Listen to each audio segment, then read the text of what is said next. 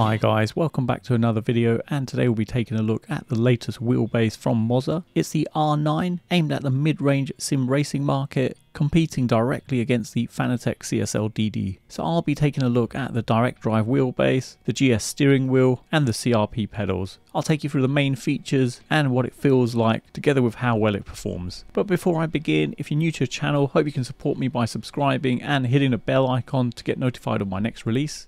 Let's begin by unboxing and taking a look at the wheelbase.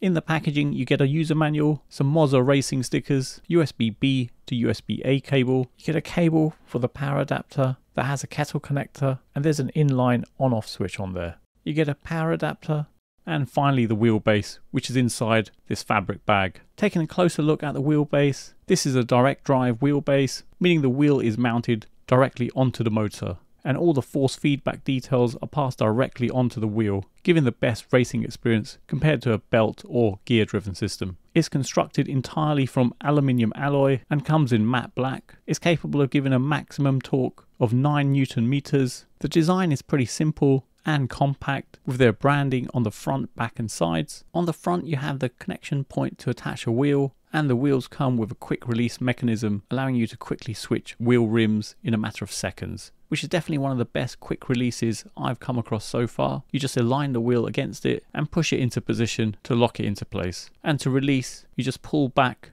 on the quick release and pull off. So easy. Underneath you've got four holes to allow you to mount onto a sim cockpit or wheel stand. There's an optional desk clamp mount you can get allowing you to clamp it to a desk. And just to note, there's no side mounting option. Coming around the back, you've got the connection points. So you have a meter input for their digital dash display, an e-stop, USB-B, DC input, and a power button. Personally, I would have preferred if the power button was at the front or at the side of the wheelbase for easy access. And I'm not quite sure why the cable for the power adapter needs the power switch as there's already a button on the wheelbase.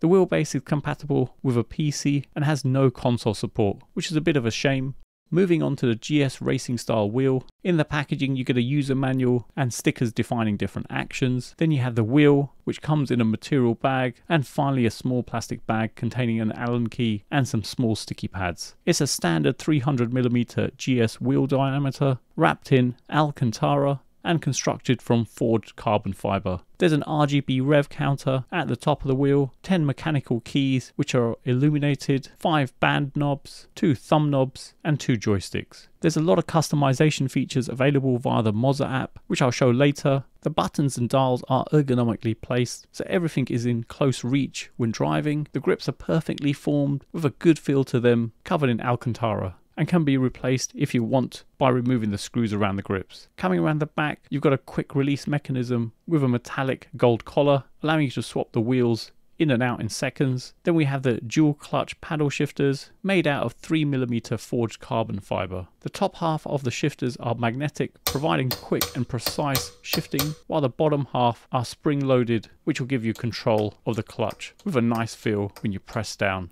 and are a comfortable distance away from the wheel. The wheel has a very high quality feel to it with a premium finish, which I'm really impressed with.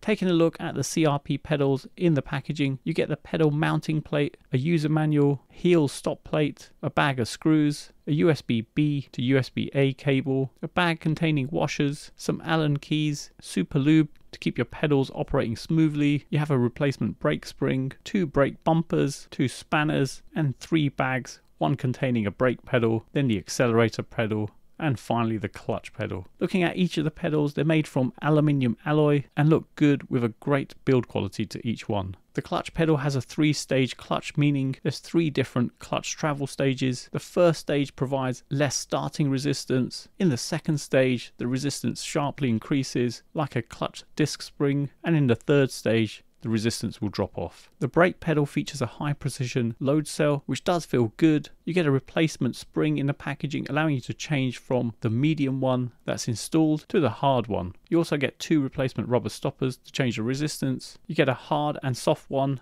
and the medium one is already installed. There's connection points on either side, and this is where you'd connect the clutch and accelerator together with the USB B point where the other end plugs into your PC. And then we have the accelerator with a nice, smooth, consistent feel to it, and again, a solid build quality. The pedals are adjustable, enabling you to increase or decrease the resistance, and the angle can be moved between 63 degrees to 83 degrees. And the height and positions of the individual pedals can be changed too. However, as this only works on PCs, they're not compatible with any consoles.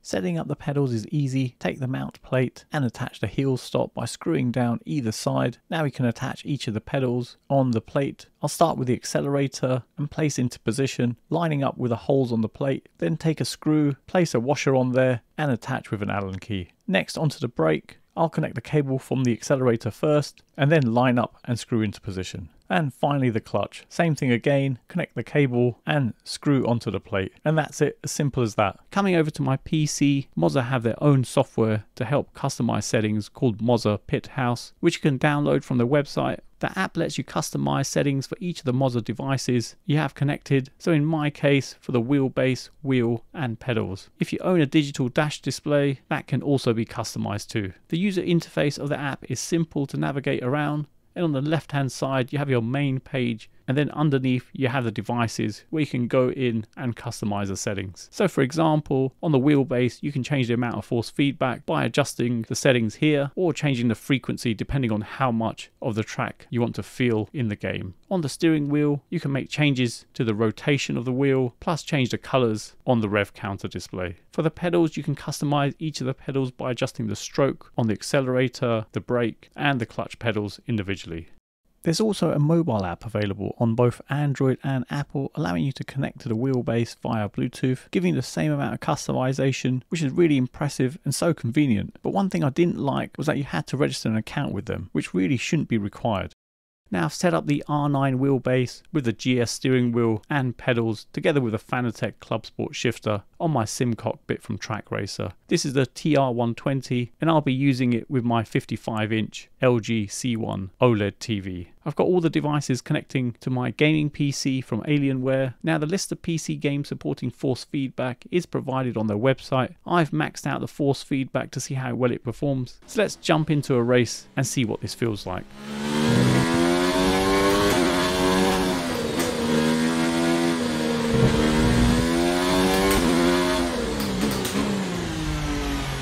Racing experience is really impressive. The R9 wheelbase is very quiet as there's no internal fans and after playing for a couple of hours the wheelbase does feel warm but there's no loss of performance or any worry of it overheating. It feels really smooth, refined and gives a lot of detail from bumps, curbs and the track itself. The torque levels feel very strong and you can feel the force feedback accurately from the track as you're going around corners so it feels very realistic.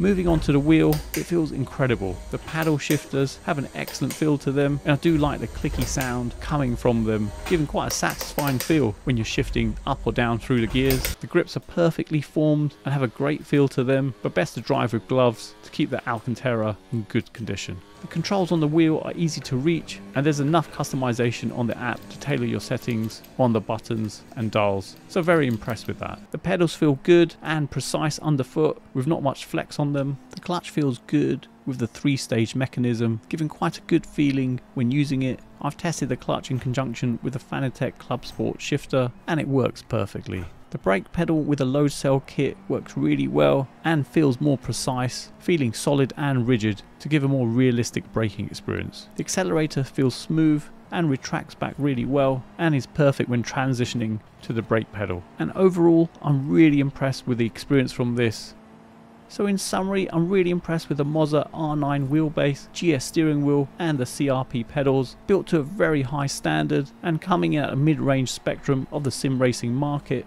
Pedals are solid and do feel really good in terms of quality and the overall experience with them is really good. I'm especially impressed with the brake pedal and the load cell sensor. The GS steering wheel is really well made and has an impressive build quality and with the 9 newton meters of torque from the RS wheelbase this does feel incredible. Negatives wise, it's a shame Moza has limited themselves with a lack of playability on consoles as it's only compatible on a PC. But it would have been great if you could use it on a PlayStation or Xbox. But interestingly enough, there is a company that's created an adapter that allows you to use it on a console, but this is not something I've tested out yet. So let me know in the comments if you want to get that in and give it a go. It would have been nice if you could customize settings directly from the steering wheel without having to go into the app. Obviously not a biggie as you can flip over mid-game or you could make changes using the app on your smartphone. And finally, the price isn't cheap. So with the R9 wheelbase at $439 and the pedals with the GS wheel coming in at $499 each, you'll be looking at paying around $1,437 compared to the equivalent Fanatec bundle, which is the DD Pro Premium bundle, which comes with the boost kit, taking the torque levels to 8 newton meters, which is slightly less than Moza, and load cell kit, coming in at $970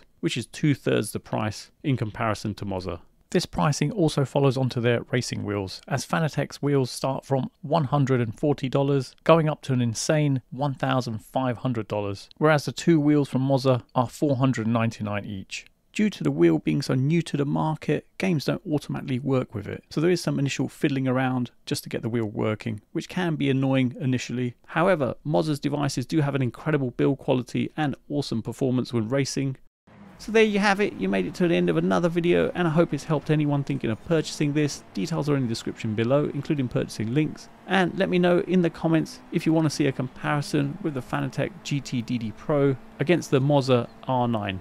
And if you're still here, drop a Moza R9 in the comments as it's nice to see who's made it to the end of my videos. You can follow me on Instagram, TikTok, Facebook and Twitter and if you're new to the channel, hope you can support me by subscribing and hitting the bell icon to be notified of my next release.